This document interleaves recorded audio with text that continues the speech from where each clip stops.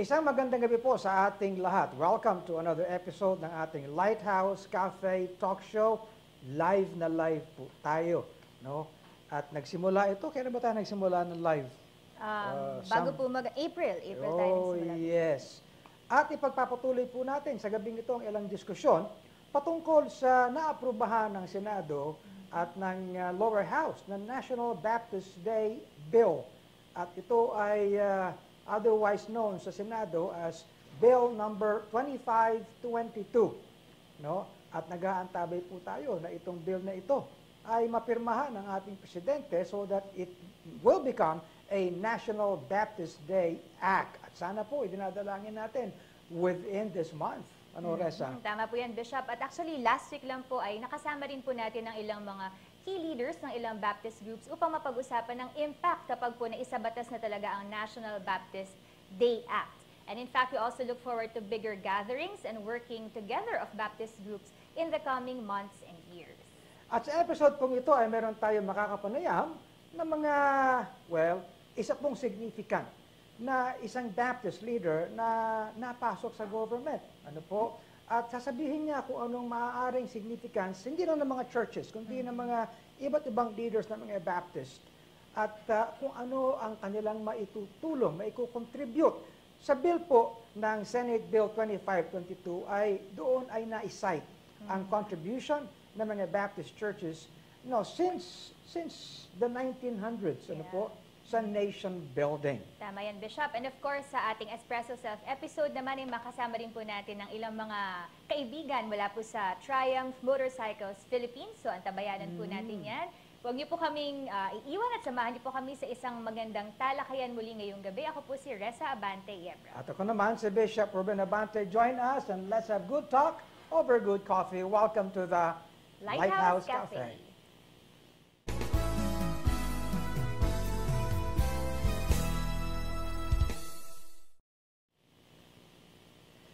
Okay, so in order for us na medyo maging familiar po sa lahat ng mga pangyayari, ay ah, babalik tayo sa 2020, Opo. Reza.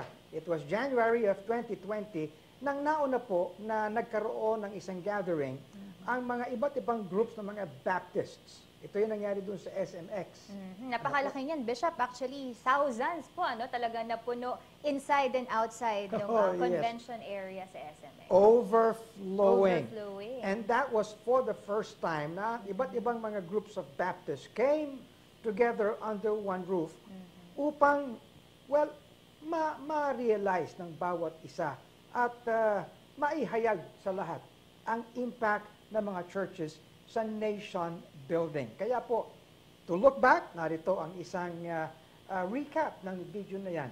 Ano po? ng 2020. Watch this video.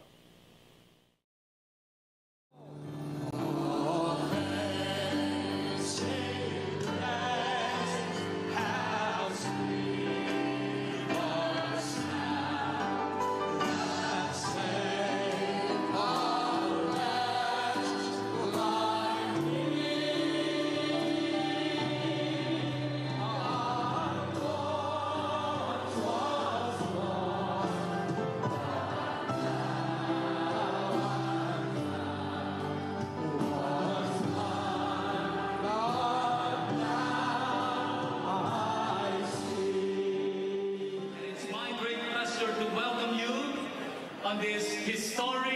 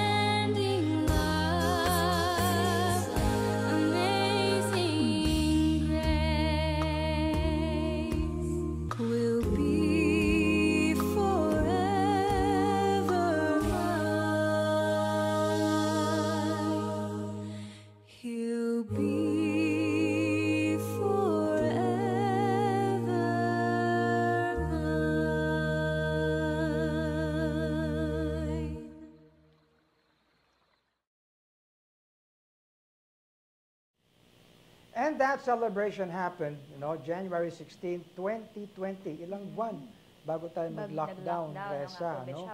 Celebrating 120 years ng Baptist Yes. Impact po sa ating bansa. Well, they were asking kung kailan daw nagsimula ang mga Baptists sa Philippines. It was in the turn of the 1900s when the first Baptist missionaries from US came. Ano po? And, uh, well, doon nagsimula ang uh, pag-establish ng mga churches. At uh, unang-una, sila ay pumunta ron sa Iloilo at doon no, nagsimula ang mga church planting. And then, uh, through the years, ay dumami po hanggang marami ng mga gustong Baptist ay naririto. Okay? At uh, isa sa mga significant na mga bagay na napag-usapan during that coming together ng celebration ng 120 years ay uh, ang mga leaders po, katulad halimbawa ng Alliance of Baptist Councils at ng Bible, Mode. And during that time, more than 20 groups of Baptists came together with all the leaders.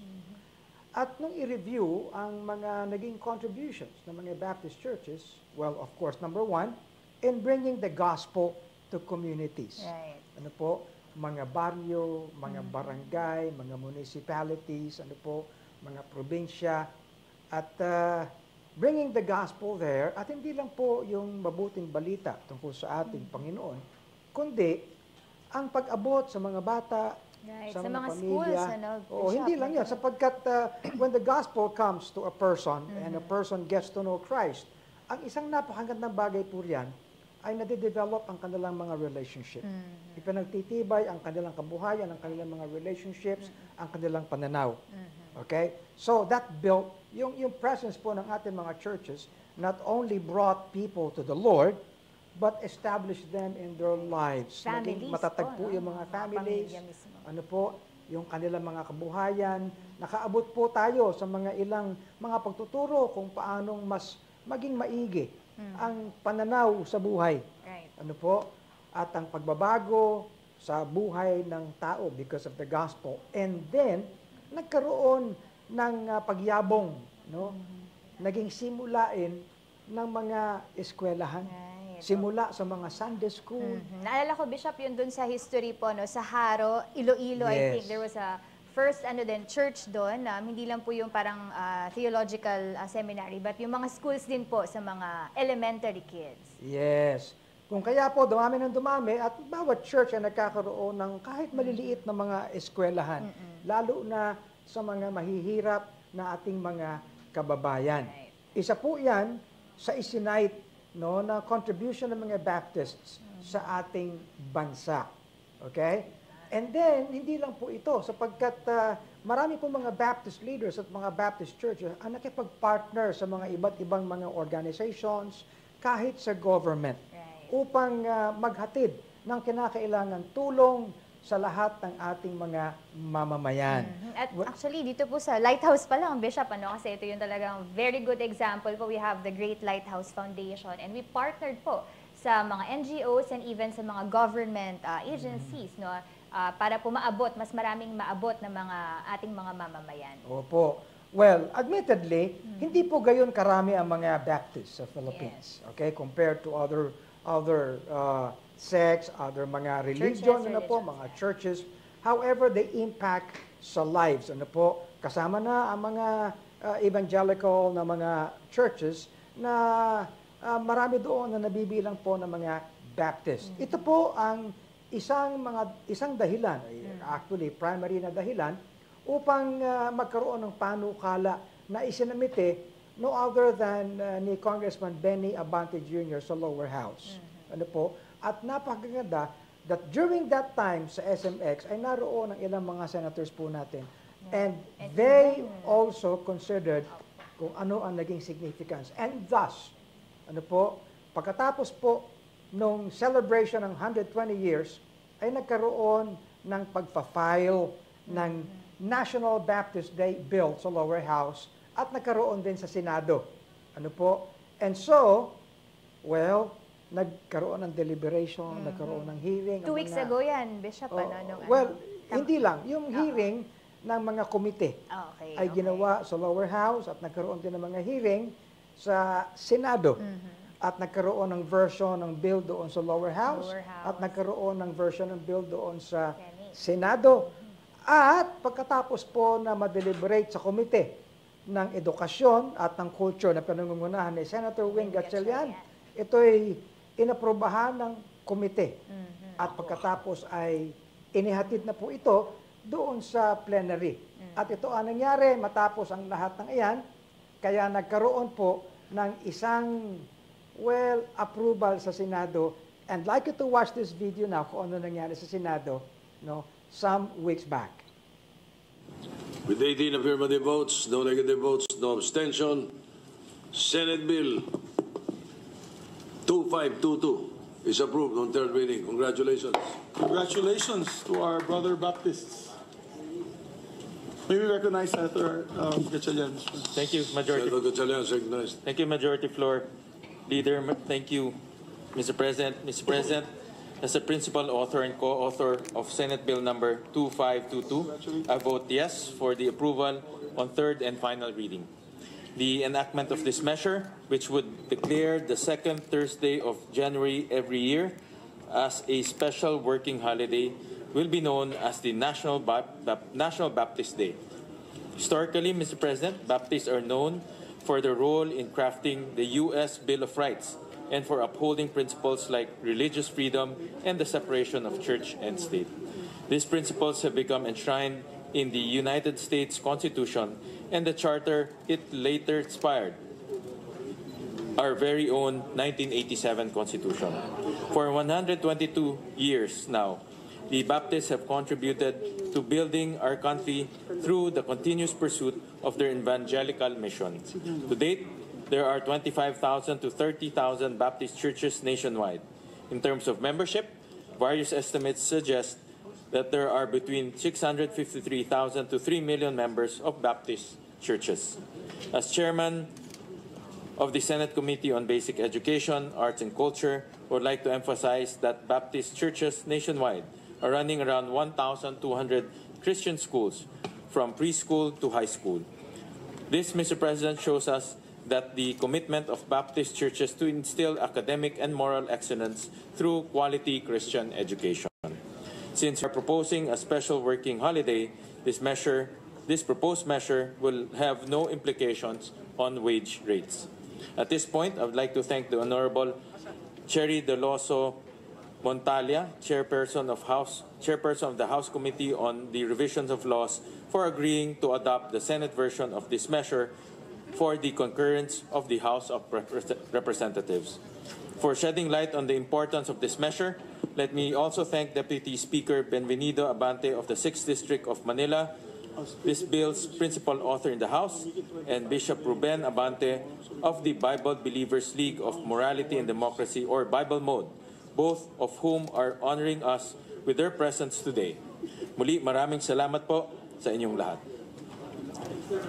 Let me also recognize, Mr. President, the pastors from Bible Mode who are here, who are with us today to witness our approval of this proposed measure. Sa pagkakataong ito, nais kong pasalamatan at bigyan pugay ang ating mga kapatid na Baptist. Maraming salamat sa patuloy ninyong pagpapalaganap at pagsasabuhay sa salita ng Diyos. Maraming salamat sa patuloy ninyong pagpapakita ng malasakit sa ating mga kababayan, lalo na sa mga panahon hinaharap natin ang mga matinding pagsubok. Maraming salamat sa inyong pag- paggabay, paghubog sa mga kabataang bahagi ng inyong mga paaralan at mga komunidad. As the 18th Congress draws to a close, Mr. President, I am grateful that one of our final acts is to honor our Christian brothers and sisters from Baptist churches who have continuously proclaimed, taught, and shared biblical principles for the betterment of our country. In the spirit of expressing solidarity with our brothers and sisters in Christ from Baptist churches and to honor their invaluable contribution to our society and way of life. I join our colleagues in voting for this measure's approval on third and final reading. Maraming salamat po, Mr. President. This is the day that the Lord has made, uh, Mr. President, by uh, designating the uh, second Thursday of January of every year as the National Baptist Day and proclaiming the same as a special working holiday. We are giving our brothers and sisters in Christ in the Baptist uh, community a specific date to be devoted um, exclusively in proclaiming, in teaching, reminding, and sharing to its members the grace and mercies of the Lord and the importance of biblical principles in uh, their lives as a people and as a nation. We are uh, truly honored to be co-author of Senate Bill uh, 2522 and we congratulate our chairperson, Senator Win Gatchalian, and the proponent of the measure in the House of Representatives, our good friend and uh, Bishop, Pastor, uh, representative of the 6th District of Manila, Pastor Bishop Benny Abante, for shepherding this measure. Again, thank you, and uh, may God bless us all. Thank you, Mr. President.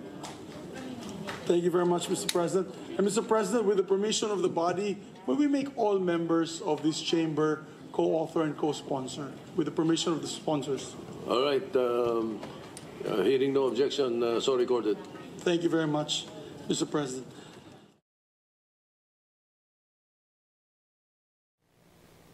At yan po ang nangyari tungkol sa National Baptist Day Bill at tayo natutuwa at nagagalak, nagpapasalamat sa Panginoon sapagkat ngayon ay naaprubahan na po ang National Baptist Day Bill at nag-aantabay po tayo na ito'y mapirmahan na into a law and it would become the National Baptist Day Act. At sa pagkakataon ito, we're so glad na one of uh, the significant leaders ng mga Baptist ay maaari natin makasama at actually, Reza, hindi na siya bago sa Lighthouse Cafe sapagkat matagal na siyang partner ng Lighthouse Cafe. Ano po? So we introduce tonight Dr. Dante Velasco. Dr. Dante, magandang gabi sa iyo. po. Good evening. Good evening sa inyo, uh, Bishop R.A. and Risa. Yes. I'm glad to be back at your Lighthouse Cafe. yes. Yan, or- Oo, kahit This is a milestone for the Baptists Yes. in the Philippines. Oo. And many people Maybe- have, have been talking about this National Baptist Day Bill, particularly ang significance nito. At ang tanong eh, ano ba talaga ang naging contribution na ng mga Baptists sa ating bansa? Okay? Well, ang sabi natin, of course, in bringing the gospel to communities, ano po? And then, not only in bringing the gospel, but, you know, teaching lives, mga Change families, ano po, sa kanilang mga relationships. And then, of course, sa bagay ng edukasyon, hindi lang sa Sunday school, kundi sa mga paaralan, no, na mayroon ang mga iba't ibang mga churches. Pero ang pag-uusapan natin ngayon, Dr. Dante, ay tungkol sa mga Baptist leaders, katulad mo, na naging bahagi ng government. Hindi ba? Yes. Oo. Now, ikaw yung naging bahagi ng government uh, matagal na panahon na, hindi ba?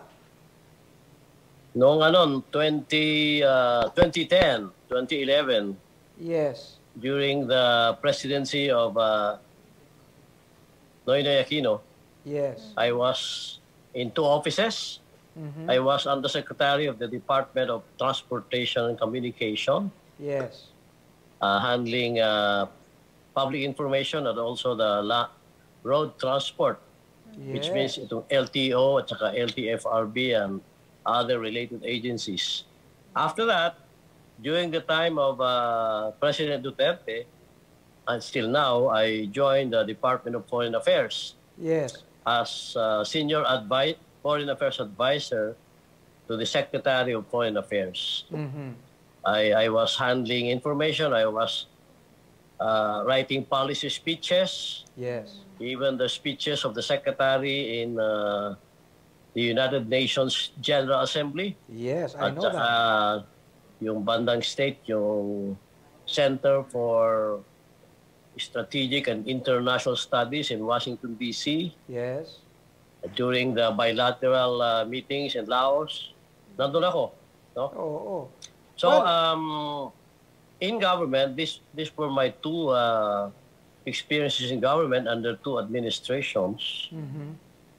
Um, so, uh, I can speak very well about how Baptists or Christians can actually be part of government and be uh, contribute to nation building, Yes. contribute to helping government deliver services.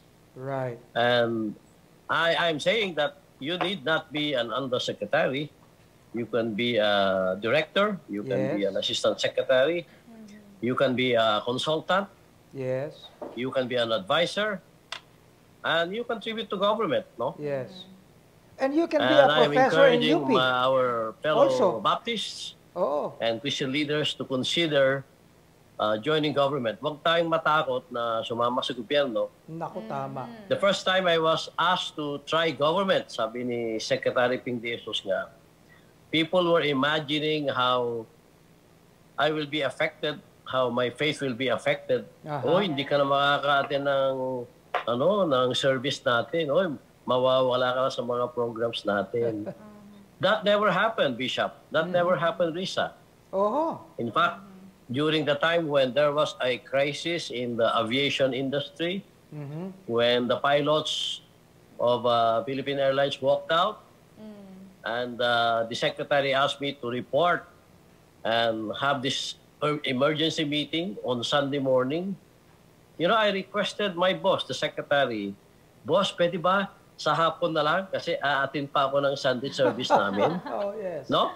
Oo. And you know, uh, it's a blessing that he said, okay, but just make sure you come here at 1 o'clock in the afternoon. Yon, gano'n. So, Tinapos ganun mo muna yung church services. Tinapos Ha? mo muna yung church services. Oh yes, tumapos ko muna dahil ah, ang pastor na nun, yung ano, yung yung son ko, no? Si Pastor Eric Velasco. Magagalit yung anak ko, di ba? So, and I have I never missed our Sunday service from then on. Yes. And the secretary uh, knew na, oy, si Dante, attend muna ng service niya. Ganon Yes. pala yun. Ang kailangan, uh, you should be very, uh, ano, forthright about your faith. No? And uh, somehow, nakakatulong din yun dahil pag nalaman nila na, ayo, hindi naman Kristiyano, kung di Baptist, sasabihin ng isa nung may public hearing, Oo. sabi niya, gusto kong kasama si Dante. Kasi mainam yan kasama. Magaling kasama yan. Oo. A public hearing yun. You have to listen to people. There was a public hearing on raising the fare of Yes. the LTF, ano? LT, ano? Ano, ano? M- MRT. Ay, MRT, And yes. I was asked by the general manager, Dante, dito ka. Para mainam kang kausap eh. So I was there. I was listening to yung mga hinaing na mga tao. I was listening to a little boy who said, pag itaas yung pamasahe, hindi kulang na yung baon ko, ganyan. And so after listening to that, I said, sabi ko doon sa general manager, pwede ba i-postpone muna natin yan? Yung Oh. pagtataas ng, ano, ng fare. So while we were there, hindi na itinaas, no? And kaya palang i-absorb ng gobyerno yung kulang sa pamasahe, Mm. no? Kasi may tug of war yan eh. May yung DOTC, at the same time yung finance department. Yung finance gustong itaas para tataas yung revenue ng gobyerno sa LRT. Sa ano naman, sa DOTC, you would like people to use kasi ah, the LRT, dahil one function of government is to move people, no? One Yes. function of government, yung tao will have to move from his house to the factory. Yun ang, ano, yun ang trabaho ng gobyerno. And we have to make sure that our people will move or can use a public transport like LRT, no? So that they can go to work and they can go Yes. back home. Yun ang public service. Yung tingin ng mga taga-finance, tataasan yung pamasahe dahil malulugi daw. Pero naghanap tayo ng sistema na pwede naman pala. It, government can absorb uh, some costs Yes. at pwede kang maglagay ng tinatawag na subsidy. Yes. Yun ang pwedeng gawin ng isang mananampalataya no? in government. You test the limits of policy making. Yes. You test the limits of uh, doing this or doing that. Yun ang naging experience ko doon sa DOTC. Hawak ka rin kasi yung ano, yung action center, Mm. no? Lahat ng involved sa communication, hinawakan ko noon. Yes. You could just imagine if uh, eh kung si Bishop sana kung magiging ano yan, Secretary of Telecommunications, kayang-kaya niya dahil di ba Bishop, you Well- you are a telecommunications expert. Then we will have a telecommunication service that actually are serving the people, making sure that uh, our telecoms sector, di ba? Yes. Mga fiber optics, mga gano'n, mga technology-oriented processes, lalong gaganda yan. At, at Oh, kahit kaya- ngayon, Dr. Dante, you might not be active in a particular agency, but you are still in government because you are teaching in a government institution. You are a professor Ah. in UP. Oh, yes, yes. Yeah, teaching, I'm still in the state university, the University of the Philippines. Yes, Ah, ang tawag sa akin na ngayon, dahil hindi full-time, professorial lecturer. yes. Nung wala pa akong PhD, senior lecturer. Nung may PhD na ako, may professorial lecturer. No? Now, Kaya kasi ano, yung bagong bagong National Security Advisor, si Clarita Carlos, yes, ah, professorial lecturer na rin yan. May PhD din yan. yes. Siya yung ah, na-appoint ni President-elect ano, Oh, ah, Bongbong Marcos to become our National Security Advisor. yes. Oo. Yeah, it's true. Uh, I'm still in government by teaching at the university on a not as a regular professor, Yeah. but as a yeah, One kumbaga, of, ano tawag yan? Adjunct faculty. Yeah. One of the uh, things that, uh, uh, yung bang how we are raised as Baptists, Dr. Dante, is this. Alam mo, eh, maraming mga churches, ang kanilang very uh, concern sa lahat ng kanilang coming together or services is worship. Okay? It's Worship. all worship.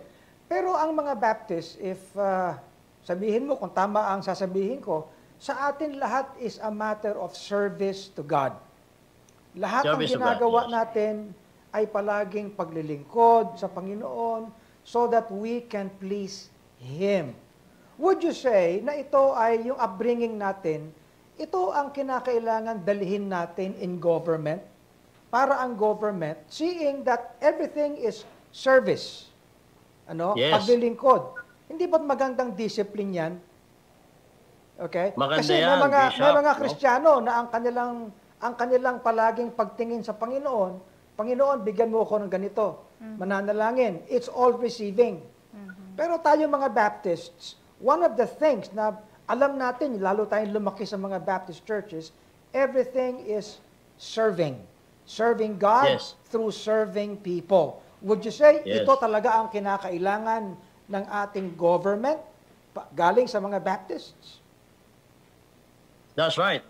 Actually, di ba, work is worship, di ba? Yes. If you contributed to the welfare of people and of course you advance God's kingdom, working is worship. Yes. No? And uh, we must remember though that when you go to government kasi, uh, magandang sinaya mo, Bishop, na you go to government for service. Yes. Kung minsan, pag nalaman nilang papasok ka sa gobyerno, nag-take oath ka sa Malacanang, Uy, yayaman ka na. Oo. Ganyan. Oh, marami ka ng bodyguard. Oo. Or, marami ka ng puder dyan, no? Mm. And nagkaroon ng misunderstanding na public service, you are you are ruling, you are ba? You don't rule, you serve. Yes. Yun sigurong dapat ah, tandaan nating mga Kristiyano that if we ah, go to government, we are not actually ruling. We are not part of the ruling class. Okay. We are part of the serving class. yes. We will we still remain minister. We are ministering to the brethren, no? Yes. Or to people. And you become a blessing to government and you Yes. become a blessing to to uh, a, a lot of people. You know, makikita mo rin kasi na it's it's a noble calling, sabi nga ni Salonga, no? Mhm. Sabi nila kasi yung mga politics it's a, is dirty. But uh, sabi ni Senate President Salonga noon, nung nagsalita siya, it's not. It's a noble calling. You will Yes. do, you will be able to do something for the country. Mafe-feel mo yon. Ang problema nga lang, ah, yung kinatatakutan, kinatatakutan na yun, we might as well address this. Maraming ding mga hazards sa pagtrabaho sa gobyerno. Una, kung magkamali ka man lang, nandyan ang ombudsman. No? Hindi ko tinatakot yung mga tao, but nakaabang yung ombudsman kasi even even with an ordinary or um, if the complainant is unknown, the ombudsman will entertain a case against you. Yes. No? But there are also ways to avoid no Yeah. being charged in the ombudsman. Well, I, I remember of- one quality na we teach sa mga Baptists. It's the quality of being circumspect. Yung meron kang pag-iingat kung anong idudulot ng pagkilos mo, anong magiging consequence. O hindi ba? So, Dapat mag-ingat nga dyan. yes. Pero hindi kailangan masyadong maingat dahil kung masyado kang maingat, wala ka na magagawa. Tama. May may konting ano, may konting pero may mga kinikwento sa akin ganyan. For example, nung may may mga attempts na o- i- they will offer you something eh. Minsan may nag nangumbida sa akin sa lunch. Tapos kasama ko yung kaibigan ko, no? We arrange last, tatlo kami. May signal pala Mm. a- aalis siya. Punta muna ako ng ano, CR or something. Tapos, naiwan na kami nung dalawa. And then, signal yon. Oy, Yusek, pwede bang bigyan mo ako ng kontratang ganito? Pwede bang Oh. gagawin ko na to? Ganon. Tapos, hinahanap ko yung kaibigan ko, nawala na. Oy. No? And then, nireport ko yon sa ating executive secretary noon. How can I avoid that? First of all, don't don't accept any invitation for lunch outside. Sabi niya. Mm. Yung pala yun. Kasi, ang nangyari daw yan, iimbitahin ka sa isang table, at the other side of the, at the other table, may nakikinig sa Oh. usapan nyo. Now, if you resist an offer, pwedeng makat yung tape eh. So, magmula nun, hindi na ako pumupunta sa restaurant with an unknown person. Yes. Kung si Bishop R.A., kasama ko yan, okay yan. Pero yung iba, inimbita pa, pa naman ako doon sa napakasarap na wagyu, yung wagyu Yes. na beef na Oo. pat. Diba? Mahal pa Ngayon, naman hindi yan. na yun mahihiya ka pag humindi ka. hindi, Di ba? So, ibig sabihin, Dr. Dante, no, yung upbringing sa church ay napakahalaga para tayo ay maging handa kung tayo man ay pupunta sa government. Ah, maganda yan, Bishop, yung upbringing. Itong, di ba? Mayroon tayong Sunday school sa church. Yes. No? Yung mga pinag-aaral na, we learn about the heroes of the faith. Yes. We learn about the struggle of Daniel in government, di ba? Yes. The struggle and triumph of Daniel, the struggle and triumph of Joseph, di ba? Yes. These are the two examples who Joseph became prime minister of Egypt, Oh. right? And I think Daniel was also has Yes. also become One of prime the minister. yes. And yung upbringing nila, napansin ko nga yun doon sa account ni Daniel. Di ba? They were unoccupied people. The Babylonian king recruited the best and the Yeah. brightest among the the Israelites, no? Yeah. Kasama si Daniel yan at saka yung tatlo, ah, no? Shadrach. Meshach, and Abednego. Abednego. Ito yung mga, sabi ko, mga unang-unang management trainee ni Yes. Babylonian king. It was their And then- upbringing that propelled Right. them. No, it was their Yes. upbringing that propelled them. Kaya napaka Their upbringing, nakalagay din sa Bible noon na while they were in the kingdom, the Babylon kingdom, they did not stop reading the Bible. Yes. They did not stop meditating on the words of God. Correct. And it was good because itong Babylonian teachers naman nila are inculcating the Babylonian Oh. culture to them. Yun. Alam But mo, there Dr. was- Dante, may- napakaganda Yes. ng sinabi mo. Yung Yeah. sinabi mo mga kwento, by itself, napakalaking contribution. No? Ebe, Mhm. kaya masasabi natin eh, malaking impact ng bill na ito, Dr. Dante. Maganda po actually. Napakalaki na yung training maraming- talaga. In fact, ah, pero ah, kailangan din nating ihanda itong mga ating, ah, as we are encouraging our fellow Christian brothers and Yes. sisters. Go ahead, say it. To say join- it. Kasi Ah. medyo limitado yung ating oras, but say it. Magbigay ka ng challenge sa mga kapatiran natin, especially the Lalo young. na sa, opo, anyone gustong pumasok The sa government Okay. position. Say it.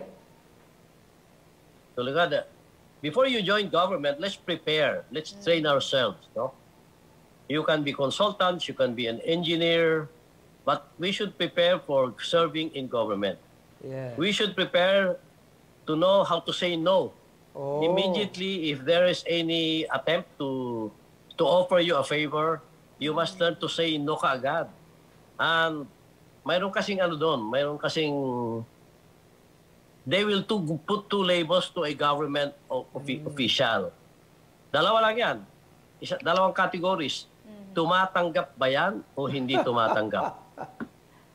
Pag magkakaroon ka ng reputasyon doon na tumatanggap ka, wala na, tuloy-tuloy na na they will tempt you with, no? But pag malaman nila na may branding ka, you have a branding, na hindi tumatanggap, what I'm saying is you can say no.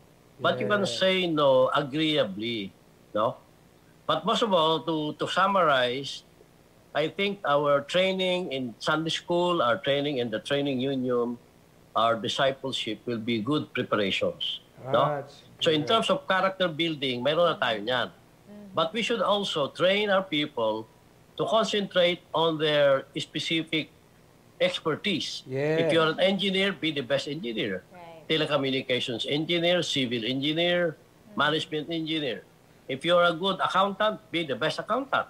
Diba? Amen. If you are a communications person like I am, be the best in communication. if you are in teaching, be the best. You are a training officer.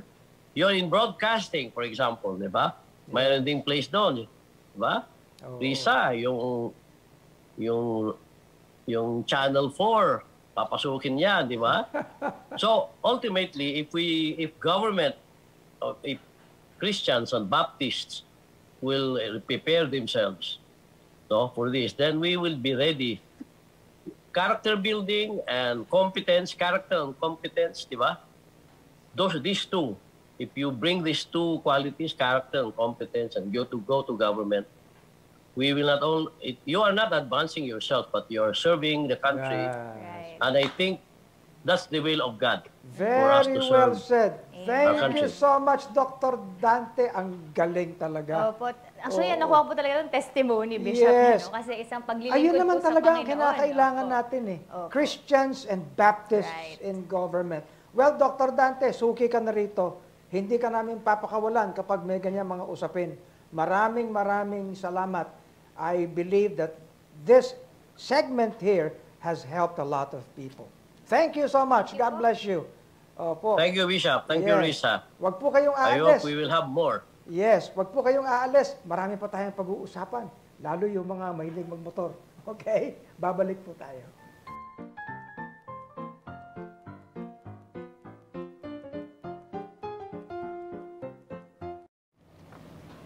In the last decade, we have seen a rapid development in the automotive industry. In fact, a significant growth in both cars and motorcycles have been key drivers in the economic growth and expansion in the country.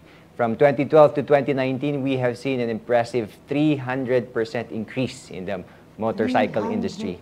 Yes, Bishop. And according to a Statista research in 2021, the number of registered motorcycles and tricycles were down to 4 million in the country, coming from 7 million from the previous year, which may be a, a direct effect ng ating pandemic. Pero alam mo, Gab, ako personally, ayan, oh, ayan, ayan, ayan. yan ang evidence. Ano?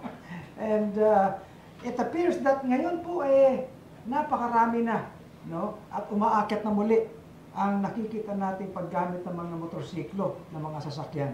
Tama po yan, Bishop, no? At uh, magpapasalamat po kayo in advance dahil bibigyan niyo ako ng bagong motorbike uh, dito sa show natin. But uh, yan po ang ating pag-uusapan ngayong gabi. At uh, yung joys and even yung fears no, ng uh, pag-motorbike and even yung safety mamaya. Kaya uh, we are so privileged to have with us uh, tonight um, one of the uh, managers of Triumph Philippines, Sir Mo Ordoña. Oh, Mo, Good evening po. Welcome. To Lighthouse Cafe. Thank you, Bishop. Thank you, Bishop. And Sir Gab. Oo, alam mo, nag-uusap pa lang tayo tungkol sa mga motorsiklo eh. Yeah. No? And uh, uh, hindi dahil ito isa sa mga passions ko mo. But uh, we'd like everyone, kasi dito sa Lighthouse Cafe, ito yung where good talks happen. Yes. And I believe, eh, lalo na may mga motorsiklo, ang tawag eh, cafe racer. Yes. Eh, mahilig kami sa kape. And it's a cafe. Kaya ito, oh, may pwede. Ano? Well, anyway, uh, para po sa atin, Gab, si Mo ay isang ah, magandang ah, panggalingan ng mga impormasyon. Of course. No, Mm. tungkol sa mga motorsiklo. Well, ah, Mo, Yes. ah, nakalagay dito sa ating research ay malaking tulong ng mga motorsiklo sa pag-angat ng ating ekonomiya. Okay? Okay yun. Eh sa pag-angat ng buhay ng tao. Uh, well, Yeah, go it's ahead. uh, it's uh, first off, give let's give an example. Yung mga nag-grab, Mm. Oh. Lala Move, Mm. uh, most of most of the riders na the, even angkas. Yes. Remember nawalan tayo ng mga public transportation because may limit um, what do you call it? Yung uh, Restrictions, social, ah. disti- La- social distancing. Mm. So basically everyone went with angkas. They even had to go through with the Yes. dealing with the barrier Mm. between the motorcycle rider, uh, I mean the driver and the passenger. So maraming natulungan in that small aspect pa lang. So and here ngayon, uh, now that the the world is opening up na, Yes. um, even even halfway through the pandemic, parang a lot more people actually started buying motorcycles. Mm. So that means the Philippines imported more or even produced more motorcycles, which helped a lot of people get employed. Tapos get to may, pay more taxes. Companies get to pay more taxes. yun nga. So the economy was helped by the It's- motorcycle It's actually a industry. fact of life. Uh, I remember well, pupunta ako sa mga Asian countries. Mm. Taiwan, for example. No? Bangkok. Mhm. You know?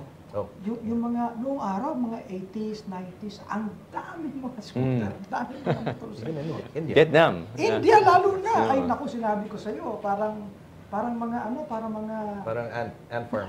Oo, Yeah, because- totoo yun. Mm. Pero, it actually spelled growth. Yes. Lahat ng bagay na iyon. Mm. Pero hindi lang sa bagay ng kabuhayan. Mm. No? Passion, Mm. hobby, Mhm. Mm. di ba? And uh, ano namang klaseng segment ito? Can you please describe? Ano namang klaseng mga mga kaisipan ng mga pumapasok dito na iba naman ang kabuhayan nila, syempre, pero but they buy motorcycles. Well, practicality, I guess, is number Mm. one because, Yes. uh, of course, like going from point A to point B, which is home to Mm. work, Oh. and then going back, the easiest and most convenient way. And since marami naman sa atin work from home yung mga better halves or ganyan, um, most of the men, especially, and even women now, Mm. Are buying motorcycles because they want to get from, you know, to, Mm. to and from work na mas mas convenient without in the traffic. fastest way in the possible. fastest way Mm. possible. Yeah. Less You know? gas. Less gas? And less gas. Oo. So, Okay. Mas mobile, ah, Pastor, no? because you can also go through yung mga medyo mas maliliit na streets Yeah, or back- roads. back no? streets, yes. Ah, so, very ah, convenient. very convenient. Pero naririnig ko kasi, kapag nag-interest yung asawang lalaki na bumili ng motorsiklo, kaaway niya yung misis na agad. May passport.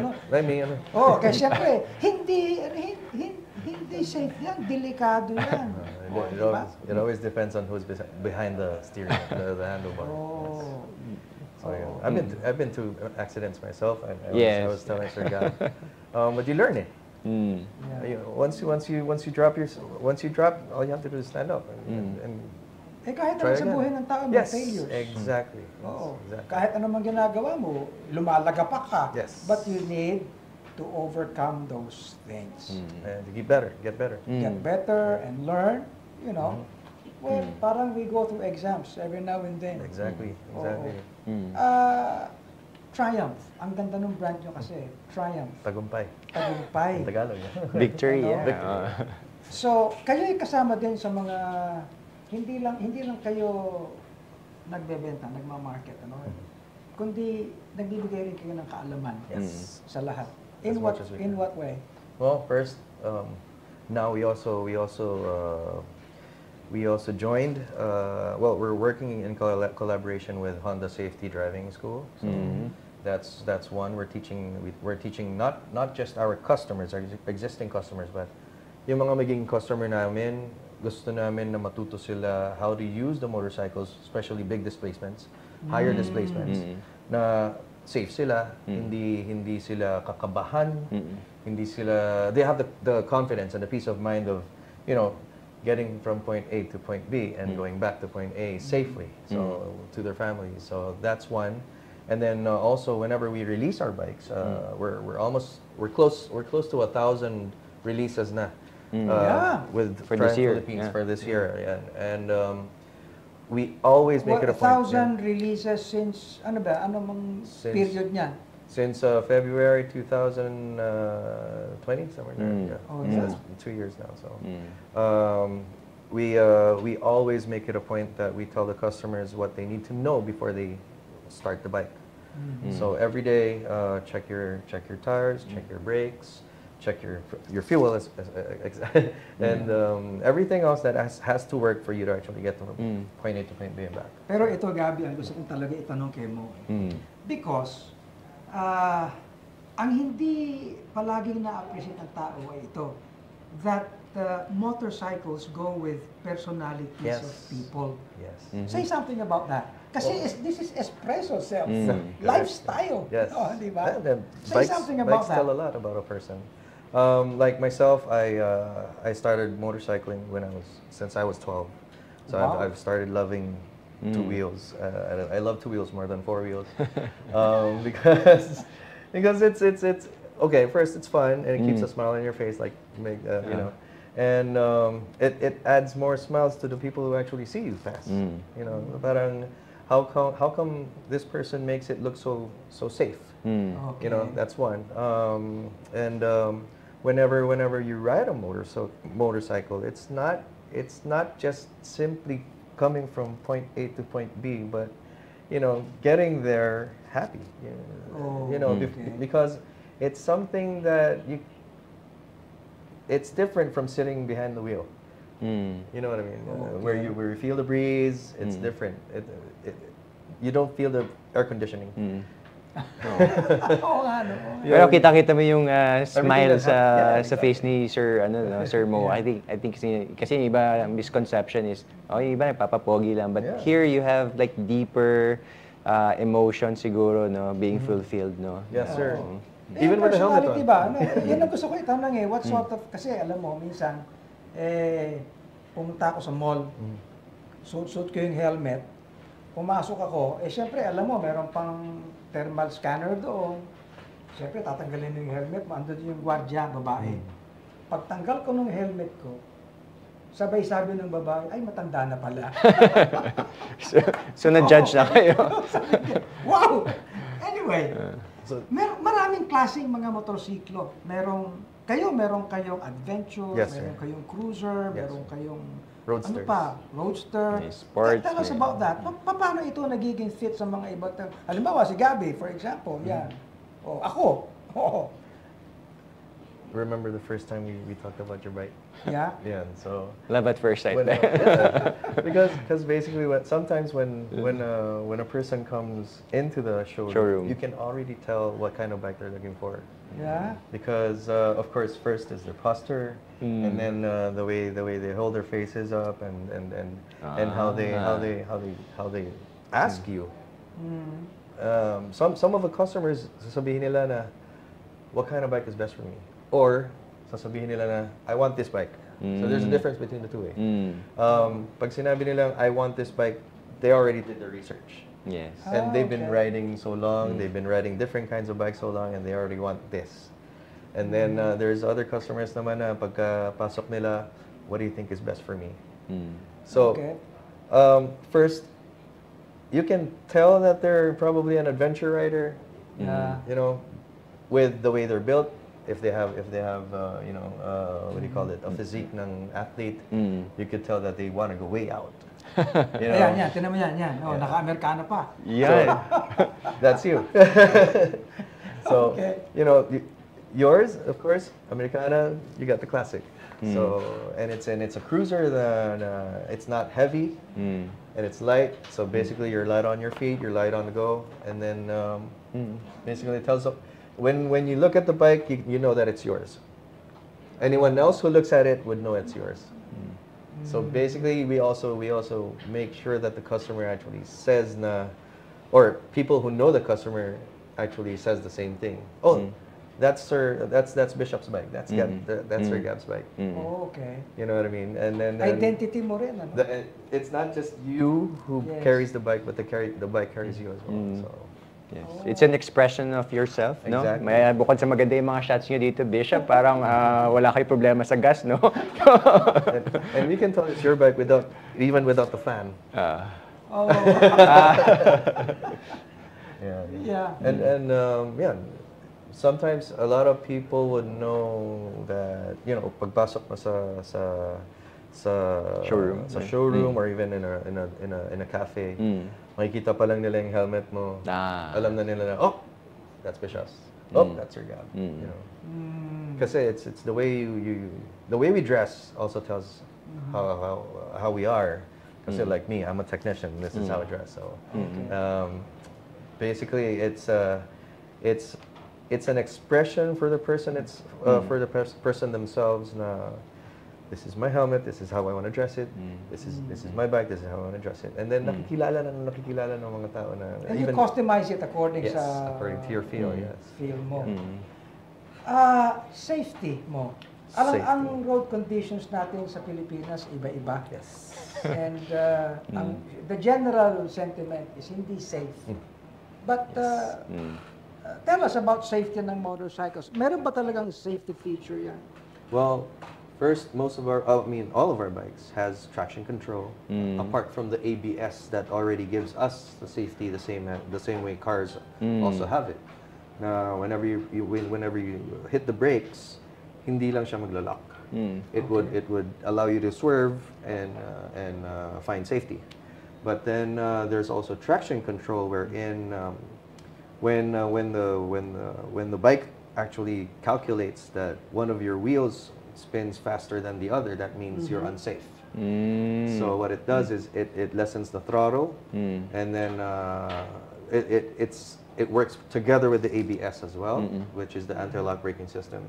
Those two together, when the, when those two work, Mm. you have the peace of mind that you're gonna get from point A to point B safely, even even when you when you encounter accidents or sudden stops or sudden Mm. braking. Eh, what about yung halimbawa, umuulan, maaraw, Rain, and yeah. everything? Mm. Meron Raining. Ibang, iba-ibang modes din. We have different driving modes. There's of course the road mode, which is always used, um, or it, it, it, it's the default. And then there's rain mode. Rain mode actually has higher uh, higher uh, traction control, Mm. uh, and more active pala yung traction control and the ABS. So ABS. basically, um, whenever it rains, the roads are slippery. Like I mentioned, kanina, there's uh, whenever whenever one of your wheels spins faster than the other, that means you're slipping. Mm. So it will lessen the throttle and then it'll get you back into control. Mm. So Ang daming feature. yes. Mm, very, ano po, no? Um, I think one of the misconception nga, you know, once you purchase a bike, parang, oh, medyo bibilangin ko na ako ilang weeks baka Yeah. ka ma- suma- O kaya sasabihin eh, yung isang paa mo nasa ano, nasa Nasa hukay na. na, yeah. O, hindi ba? And even now, you know, the latest that we have now is the Tiger 1200. Mm. It, it actually has your a blind spot radar. Ah, So where, or, or a blind corner or, or, or, a, or a, what do you call it? There's a warning. Alarm, yeah. Yeah. Oh. So whenever a car or any any other motorist gets too close to your right side from the from behind, Mm. you're the under the side mirror. There's a there's a light that actually uh, lights up. Mm. Or even on the left side, same way. And then if both lights are on, that that means someone's tailgating. Mm. Or you're going too slow Mm. on a highway. So Mm. basically, you have to speed up, you have to adjust, and then, Mm. or you can you can get away from whatever's getting Mm. close to you on either side. So parang humahabol na rin nga pala, Bishop, sa mga When- cars yeah, ngayon, no? technology, yung, yes. technology and uh, preventive, ano, no? And then uh, there's also active suspension. So Mm. basically, the Tiger 1200 and the Speed Speed Triple 1200 also has that. Now, when you're cornering, of course, Mm.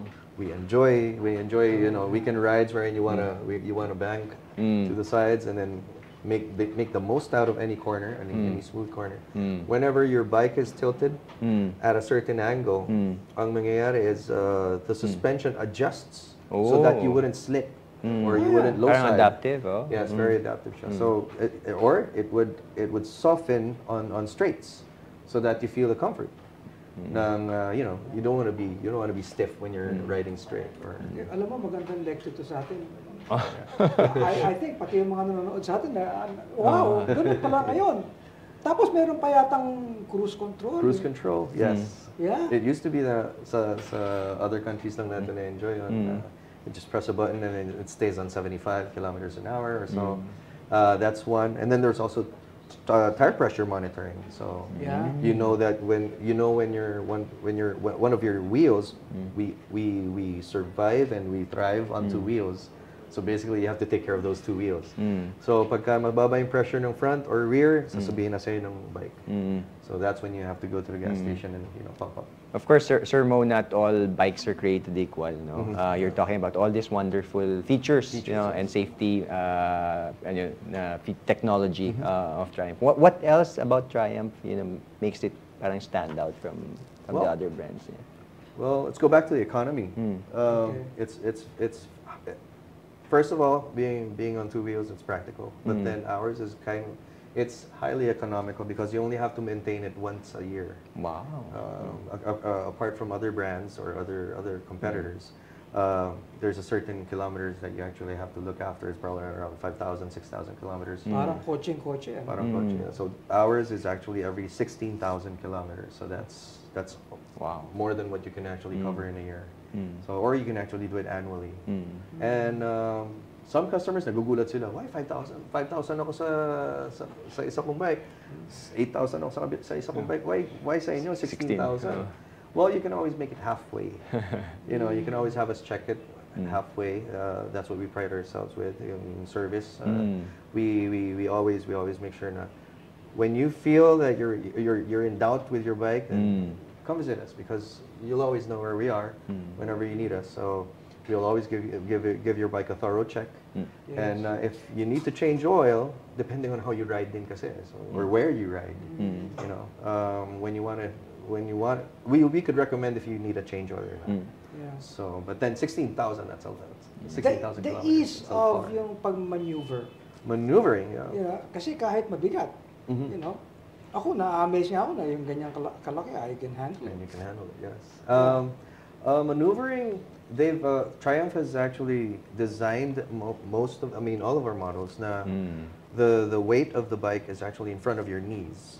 Mm. So, because the knees are the first, uh, the first joints that we actually use to, to, to, to stand straight on the bike or, or keep the bike Mm. upright. So what they did was they didn't put it directly under, uh, between the knees, Mm. wherein it's all the weight. Mm. Uh, they, they, they, they put it in front of the knees, Mm. between the, the, the front tire and uh, the knees, Mm. para mas stable. Nice. And then uh, we've, we've uh, with, with, with our, our modern classic models, Mm. there's a significant drop of uh, the weight itself, which is seven kilos from, from last year's models. Mm. Um, uh, they've uh, they've lightened the crankshaft, they've lightened the, the, the engine covers, um, even the tire, uh, the wheels, yung sa rims, from steel, ginawa nila aluminum. So basically, seven kilos. I mean, imagine carrying seven kilos uh, all day, or Mm. you know, riding it to work, carrying it to work. Um, they took that off and then uh, made made most of our bikes lighter now. So even the Tiger 1200 is actually almost the same weight as the 900.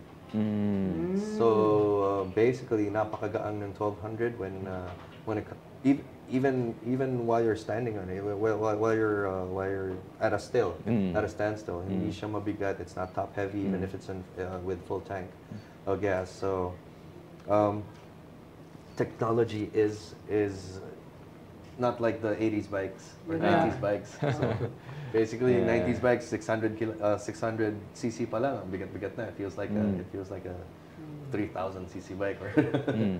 compared to the to the bikes now. So that also adds to safety. Wherein uh, even if you s- some customers actually can't reach their can't reach can't reach the floor, but they still own high bikes Mm. because they know it's light.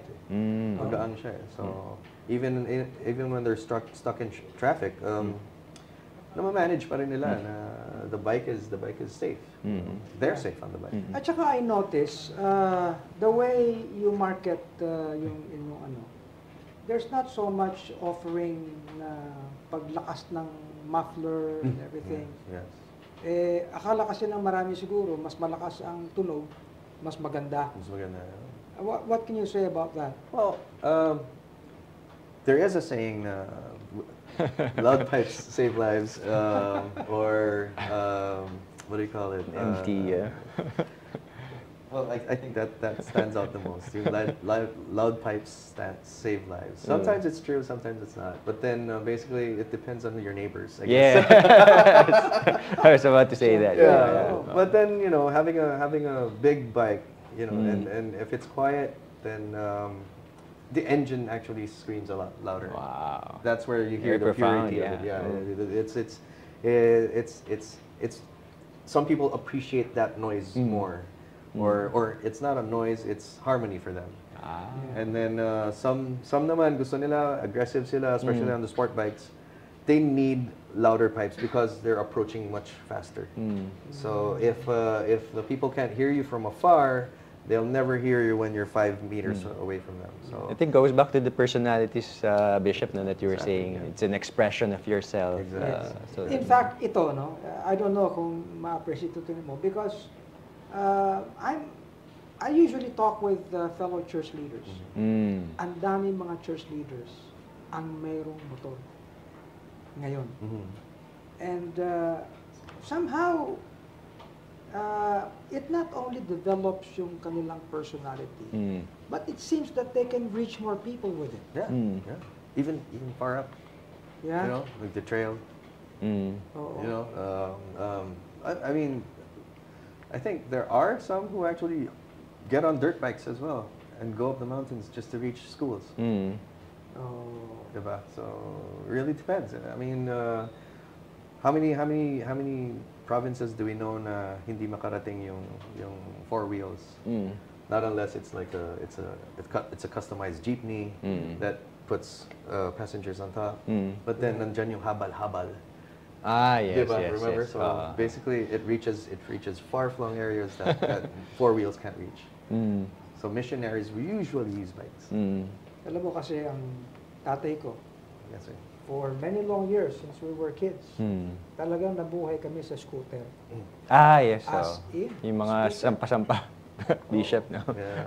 Eh, kaya nag-elementary ako, Mm. hinahatid ako sa scooter. Mm.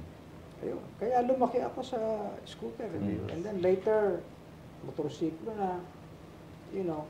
Kaya, well, uh, as much as I enjoy the thing, maliit pa ako, palagi ako nasa harap. Mhm. Pag Yeah. hinatid ako na, ni tatay, you know. Pero there's, there's something in motorcycles that make your personality na medyo Uplifted. uplifted ka.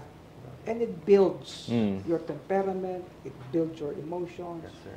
it, it builds your outlook in Mm. life. Am I correct on that? Yes, it is very much. Um, especially after an accident. Oh. yes, uh, but but that is true because Yes. uh, you know after most of our customers also go through it. Uh, after an accident, they feel, no, I got to get back on my horse. Yes.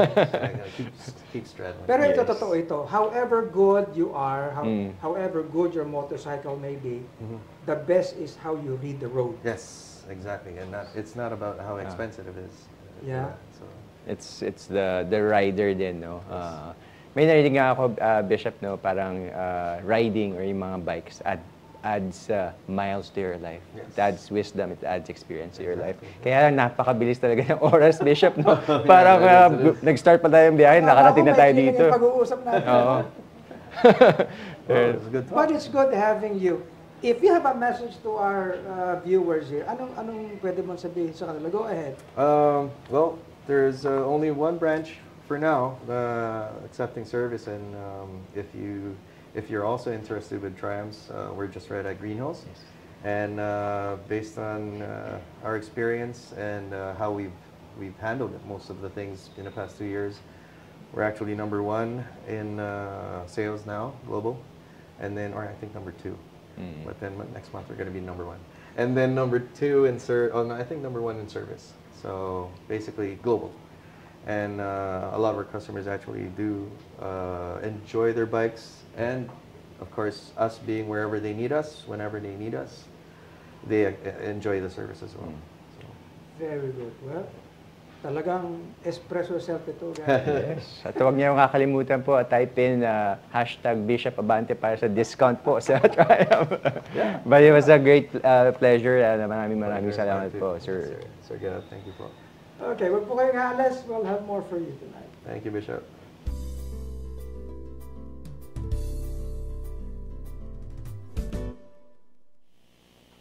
Welcome to Hebrews. Ito po ang segment sa ating Lighthouse Cafe na naglalayo na bigyang daan no, sa ating buhay ang mga prinsipyo mula sa ating pag-uusap na makikita natin mula sa salita ng Diyos. Marami po tayong pinag-usapan ngayon. Like kanina, we're having uh, Dr. Dante Velasco as our guest, pinag-usapan natin how our faith, even as Baptist, ay maaaring dalhin ano po, sa government. Ngayon naman sa ating Espresso Self, pinag-usapan natin ang tungkol sa mga motorsiklo, how that it can bring people from point A to point B, ano po, and however challenging ang mga kalye, ang mga nasa paligid natin, we can actually be safe. Ano po? Ay marami po mga prinsipyo sa banal na kasulatan that we can we can actually share with you as we go on with our lives. Ano man po ang kabuhayan, ano man ang challenge, ano po, ano man ang hinaharap natin. Hindi po natin maiiwasan sa ating buhay na marami tayong challenges. Some have prosperity, some have adversity, ano po, some have victories, some have defeats, ano po. Some would be in mountain peaks, others would be in valleys. Pero ano nga ba ang dapat nating attitude at mindset sa kalagitnaan ng mga bagay na ito? Well, I refer you to what Solomon says in Ecclesiastes chapter 7 and verses 14 and 18. He says this. Ang sabi po niya ay, In the day of prosperity, be joyful. Meron tayong maraming dahilan upang magkaroon ng galak. No? Sa bagay na meron tayong tagumpay, meron tayong mga pangailangan na, na, na, na nabibigay, nakukuha natin ang nating mga kagustuhan. Pero ang sabi niya, tinuloy niya, but in the day of adversity, challenges. Ano po? Mga ayaw natin na mga ah, kalalagyan na hindi ideal. Ano po? Ang sabi, consider. Surely God has appointed the one as well as the other. Ibig sabihin po, as far as God is concerned, ano po, kung ano man ang kalalagyan na halimbawa gusto natin o hindi man natin gusto, well, the Lord has set those situations before us. That is reality. And man, sabi dito, cannot find out no, what will come after him. Totoo po yun. We do not know tomorrow. We do not know even one hour after this. At ang sabi ni Solomon, it is good that you grasp this. Take hold of this. And also, not remove your hand from the other. Ibig sabihin, when you are faced with good things in life, take hold of it. But when you're faced with bad things in life, abay, wag po natin bitawan like, hindi ko kailangan yan. Ano, ayaw ko yan. But the Bible tells us, take hold of it. Ano po? Because ang sabi, for he who fears God will escape them all. Okay? Ang lahat ng may takot sa Diyos, kumikilala sa pagkilos ng Diyos, kumikilala sa plano ng Diyos, kumikilala sa kalooban ng Diyos. Ano man po ito? Ang sabi dito eh, will escape them all. Alam niyo po tayo ngayon eh medyo nasa dulo na yata no ng tinatawag nating pandemya. Okay? Now, we do not know what's up ahead. Another pandemic may happen. Pero alam po ninyo, the fact is this. All through, since 2020, the Lord has lifted us up. And we need to take hold of that. You see? Ang sabi ni Solomon again in Ecclesiastes 11.9, Rejoice, O young man, in your youth, and let your heart cheer you in the days of your youth. Walk in the ways of your heart, and in the sight of your eyes. It's okay to have fun. Ano po? Kung ano man yan. Mga challenges, harapin natin yan. But take hold of it. Pero sa lahat po ng bagay na ito, how you act, how you respond sa kalagitnaan ng adversity, consider that for all of these, God will bring you into judgment. Well, lahat po dapat ay magpakilala, may pagkilala na tayo haharap sa Diyos. sapagkat anumang uri ng ating hinaharap, ito man ay prosperity, ito man ay adversity, well, tayo po'y haharap sa Panginoon. At sa lahat ng bagay, we would want that we please Him. And the best, of course, is have Christ in your heart so that you can have something in you to face all these things. God bless you all.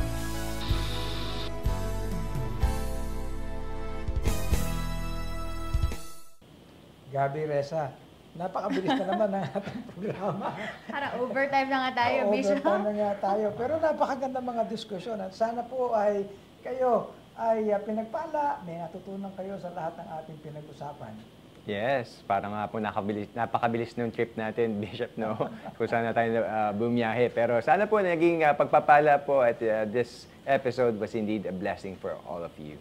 Right, at maaari niyo pong mapanood ang replay ng ating mga episodes sa ating pong Facebook and YouTube channels. If you missed our previous episodes, maaari rin po itong mapanood sa mga uh, platforms na ito. And of course, you can also download our Lighthouse Spectrum app. Libre po yan sa Google Play Store and the App Store. Okay, so join us again on Monday night. Live po tayo, alas 8.30 ng gabi for another Lighthouse Cafe. Where good talks happen.